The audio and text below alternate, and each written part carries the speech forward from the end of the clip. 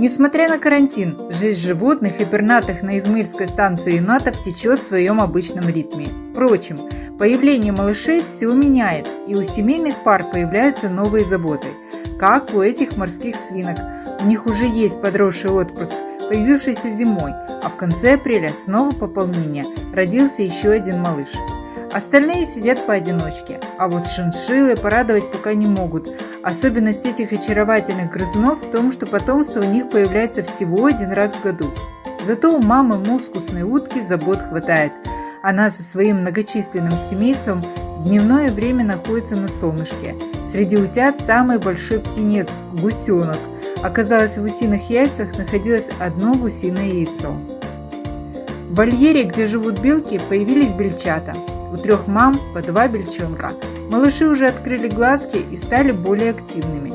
Один бельчонок из своего дупла выскочил в большой вольер и не знал, как вернуться обратно в защищенное место к маме. Сотрудники мини-зоопарка оказались свидетелями того, как белка бережно взяла своего малыша зубками. При этом он прильнул к своей маме, которая быстро унесла своего шелуна на место. В птичьем дворе распустил свой великолепный хвост павлин – он сотрясался всем телом, издавал трещотку хвостом и медленно кружился на одном месте. Этот танец он исполнял для самочек.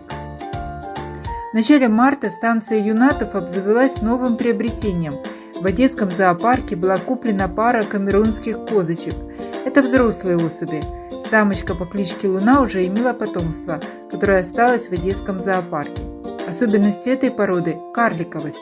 Поселили карликовых коз в теплую луну в отдельном вольере, неподалеку от пони. Мы стараемся им во всем угодить, и они отвечают нам тем же. Привыкли ли они уже к новому месту обитания? Да, вы знаете, уже привыкли они, потому что мы пытались их выпустить. Вот они прожили в, это, в, своей, в своем этом вольерчике, уже прожили больше месяца, и мы их выпускали на пастбище, нет, они четко в свое время вечером возвращались в свой домик, уже зная конкретно свой маршрут и возвращались в домик, поэтому привыкли, знают, где корм. На станции Инатов теперь живет пара экзотических животных – дикообразый, герой и красавица. Они также приобретены в одно время с камерунскими козами и тоже в Одесском зоопарке. Специально для этих крупных грызунов рабочие станции смастерили домик с откидной крышкой – Дикообразы покрыты черно-белыми иглами, и если животные почувствуют опасность, то могут поранить своими шипами. Домик обили металлическим каркасом, так как дикообразы, как и все грызуны, любят грызть деревянные конструкции. Внутри домик утеплен и разделен на два отсека, в том случае, если появится потомство, чтобы был отдел для мамы с малышами. Домик и дикообразов разместили в бывшем обезьяннике, где расположен водоем. Сейчас там находятся черепахи. Дикообразы в жаркое время тоже любят купаться.